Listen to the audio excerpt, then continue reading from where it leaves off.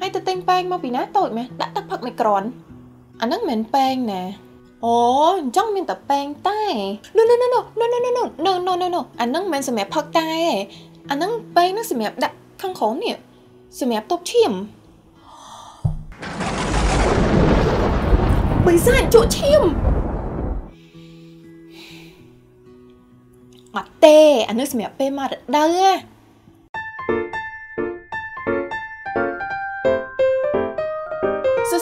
ខ្ញុំខាសធ្លាប់លើតែប៉ែងទឹកប៉ែងតែ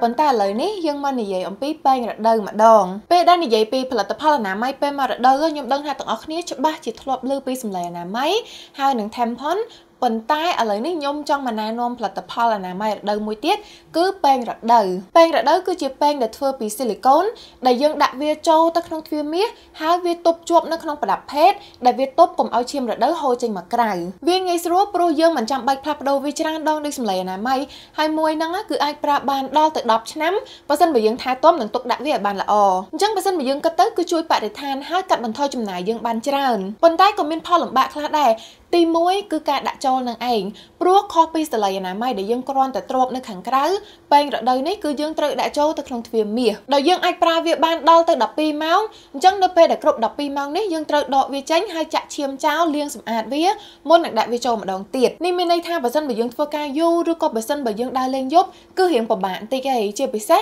បើសិនបើបន្ទប់ទឹកអត់មានទឹកដើម្បីលាងសម្អាតឲ្យបានត្រឹមត្រូវហើយបើសិនបើយើងប្រើប្រាស់កងក្នុងស្បូនណាពេងរដូវនេះគឺ អាចនឹងធ្វើឲ្យប៉ះពាល់ដល់កងក្នុងស្បូននេះបានប៉ុន្តែសូមបញ្ជាក់ផងដែរថាអត់ទាន់មានការស្រាវជ្រាវណាច្បាស់លាស់ណាមួយនិយាយថាការប្រើពេងរដូវនេះគឺអាចប៉ះពាល់ដល់កងក្នុងស្បូនទេប៉ុន្តែវាគឺជាចំណុចមួយដែលយើងត្រូវតែប្រយ័ត្នដែរតែមានវិធីសាស្ត្រមួយទៀតដែលងាយស្រួលជាងពេងរដូវហើយជួយដល់បរិស្ថានដូចគ្នា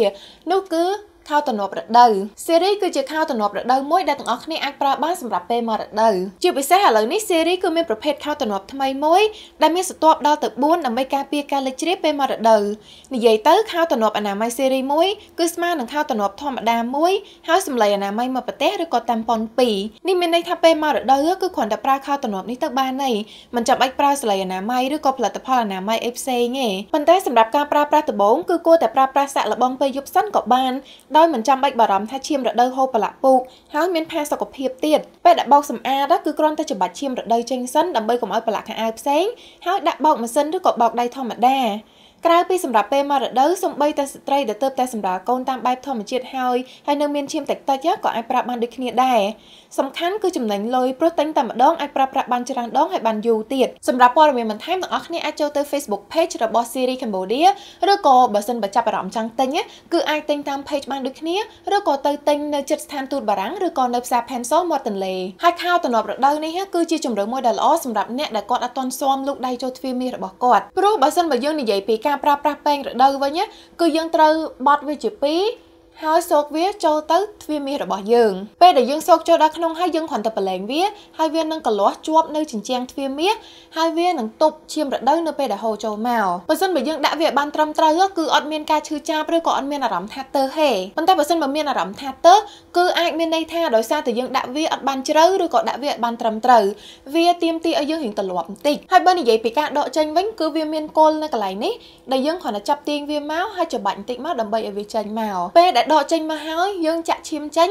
ហើយយើងលាងជាមួយនឹងទឹកឲ្យបានស្អាតមុននឹងយើងដាក់ចូលវិញបើសិនបើលាងជាមួយនឹងសាប៊ូត្រូវប្រកាសថាលាងសាប៊ូឲ្យបានជ្រះអស់ហើយសាប៊ូនោះមិនមានជាតិកាត់ឬក៏មិនមានជាតិទឹកអប់ព្រោះវាអាចធ្វើឲ្យរលាកទ្វារមីរបស់យើងបានហើយក៏ត្រូវលាងដៃឲ្យបានស្អាតមុននឹងក្រោយពេលដកចេញនឹងដាក់ចូលដែរ ប៉ុន្តែលាងដៃជាមួយនឹងទឹកនិងសាប៊ូមិនមែនលាងជាមួយនឹងអាល់កុលឬក៏ជែលលាងដៃទេណាតែនិយាយដល់ចំណុចនេះគឺមានអ្នកខ្លះគឺក៏ធ្លាប់សួរខ្ញុំថាពេលដែលប្រើពេងរដូវឬក៏ពេលដែលប្រើឆ្នុករដូវ tampon នេះគឺអាចធ្វើឲ្យបាត់បង់ព្រមចារីអត់ព្រោះសំបីតែ tampon ក៏ត្រូវដាក់ចូលទៅក្នុងទ្វារមាសដូចគ្នាដែរសំណួរនេះវារៀងសាំញ៉ាំបន្តិចព្រោះវាអាស្រ័យទៅលើនិយមន័យនៃពាក្យព្រមចារីនេះបើសិនបើយើងនិយាយថាព្រមចារីមានន័យថាមិនធ្លាប់រួមភេទពីមុនមកអញ្ចឹងការប្រើពេងរដូវឬក៏ tampon នេះគឺមិនមែនជាការរួមភេទទេអញ្ចឹងវាមានន័យថាវាមិនធ្វើឲ្យយើងបាត់បង់ព្រមចារីទេប៉ុន្តែបើសិនបើយើងឲ្យនិយមន័យថាការនៅព្រមចារីគឺមានន័យថានៅសន្ទះព្រមចារី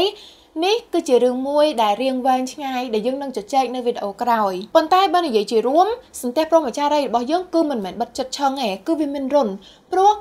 បើយើងគិតមើលបើអត់មានរុនទេតែឈាមរដូវរបស់យើងធ្លាក់ចុះមកតាមណាប៉ុន្តែសម្រាប់ការជជែកស៊ីជម្រៅនិងលម្អិតពីព្រមចារីនិងសន្ទះព្រមចារីនេះកុំភ្លេចរងចាំមើលវីដេអូក្រោយប៉ុន្តែបកមកវិញបើសិនបើគិតថាអត់ទាន់ត្រៀមខ្លួនហើយក្នុងការប្រើប្រាស់ផលិតផលអនាម័យដែលទាមទារឲ្យមានការសូកបញ្ចូលទៅក្នុងទ្វារមាសអាចប្រើខោតំណប់រដូវស៊ីរីក៏បានដែរអរគុណទាំងអស់គ្នាដែលបានមើលបើសិនបើចូលចិត្តវីដេអូនេះកុំភ្លេច like និង share ហើយទៅ follow ខ្ញុំនៅលើ TikTok និង subscribe នៅលើ YouTube ផងសម្រាប់វីដេអូផ្សេងៗទៀតជួបគ្នានៅក្នុងវីដេអូក្រោយបាយបាយ